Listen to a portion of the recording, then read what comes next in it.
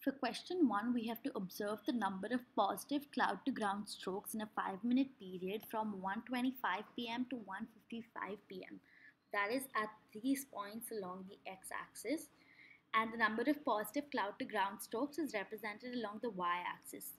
Now we can see that from 125 which starts here to 155 which ends here, the number of positive cloud to ground lightning strokes increased only. So the answer is A, increased only.